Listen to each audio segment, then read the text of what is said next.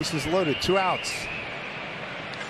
High drive, deep right center field. J.P. Crawford, grand slam.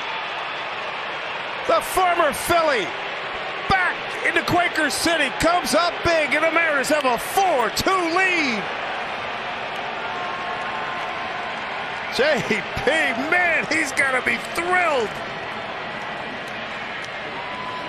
Got on the first pitch from Taijuan Walker. Let it ride, let it fly.